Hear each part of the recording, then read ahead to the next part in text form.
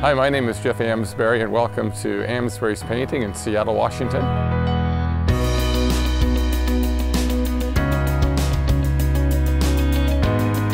We are on Queen Anne, uh, the south side, and uh, Team Amsberry has been led by Ron Boyce. Uh, he's been leading the team on a very complicated, beautiful uh, piece of architecture here.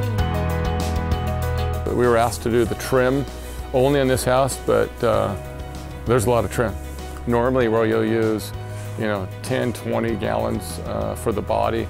This house is going to exceed 30 gallons just for the trim to give you kind of a, a feel for the, the size of the, the home this is.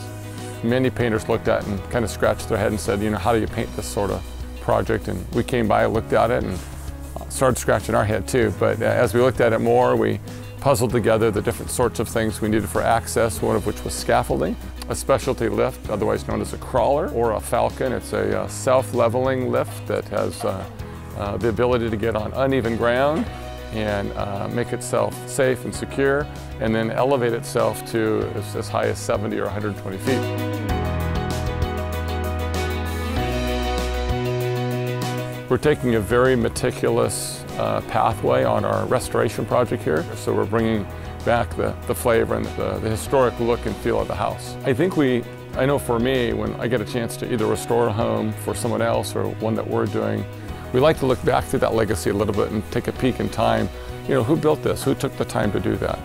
Yeah, we're not just sanding a piece of wood or some paint. We're sanding something that was sanded before our time, before I was born by somebody else that took some care and some time. We are revitalizing not just a house, but history, and it's an honor.